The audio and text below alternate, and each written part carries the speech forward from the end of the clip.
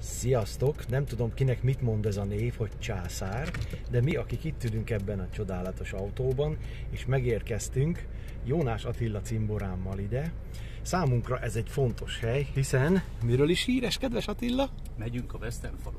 Ez az, na akkor induljunk is!